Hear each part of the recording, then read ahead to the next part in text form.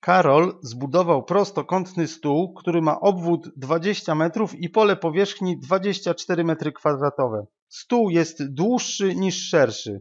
Jaka jest długość i szerokość stołu? Długość i szerokość stołu to liczby całkowite. Jest dłuższy niż szerszy. Narysujmy go. Może wyglądać tak. To jest długość. Tu też możemy napisać długość. Te dwa odcinki są takie same, a ten odcinek możemy nazwać szerokość. To też jest szerokość, bo to przecież prostokąt, czyli te dwa odcinki będą takie same. Wiemy, że obwód to 20 metrów. Możemy to zapisać inaczej, jako szerokość, dodać szerokość, dodać długość, dodać długość. Równa się 20. W zadaniu powiedziane jest też, że powierzchnia tego stołu to 24 metry kwadratowe. Inaczej można to zapisać tak, że szerokość razy długość równa się 24. Takie zadanie możemy rozwiązać na mnóstwo różnych sposobów. Później, kiedy nauczycie się trochę algebry, dowiecie się, że można to rozwiązać algebraicznie.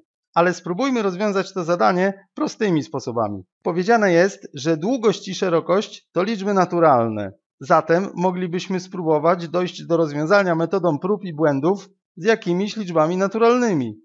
Wiemy, że szerokość razy długość równa się 24, czyli możemy sprawdzić wszystkie pary liczb naturalnych, które po pomnożeniu dadzą w wyniku 24. Czyli będziemy sprawdzać dzielniki liczby 24. Takie dzielniki, żeby jednocześnie pasowały do tego równania dotyczącego obwodu. Czyli takie, żeby 2 razy szerokość dodać 2 razy długość dało w wyniku 20.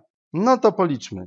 Zróbmy tabelkę z dwoma kolumnami, w jednej szerokość, w drugiej długość. I zróbmy jeszcze kolejne kolumny, obwód i pole powierzchni. Możemy zacząć od dowolnych liczb, które po pomnożeniu dadzą pole powierzchni 24 m2. Weźmy pod uwagę dzielniki liczby 24. Niech na początek będzie to 1 i 24. Szerokość 1, długość 24. 1 razy 24 równa się 24. Tu jest powiedziane, że długość jest dłuższa niż szerokość, czyli chcemy, żeby zawsze w tej kolumnie była większa liczba niż w tej. 1 razy 24 równa się 24, a ile to jest? 1 dodać 1, dodać 24, dodać 24. To 2 dodać 48, czyli 50. 50 nie spełnia naszych wymagań. 50 to nie 20. Wykreślamy 50. Te wymiary nie działają. Spróbujmy jak pójdzie z kolejnymi dzielnikami liczby 24. Mogłyby to być liczby 2 i 12. 2 razy 12 to 24. A 2 dodać 2 to 4, dodać 12, dodać 12 to razem 28. Też nie jest spełniony warunek, żeby obwód równał się 20. Też skreślamy. No to jedziemy dalej.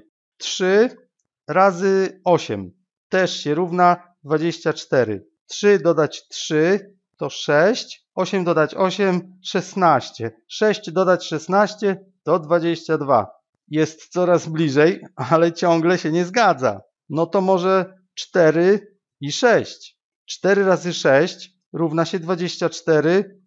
4 dodać 4 dodać 6 dodać 6 to 8 dodać 12, czyli 20. Tym razem zadziałało. Szerokość wynosi 4 metry, długość wynosi 6 metrów.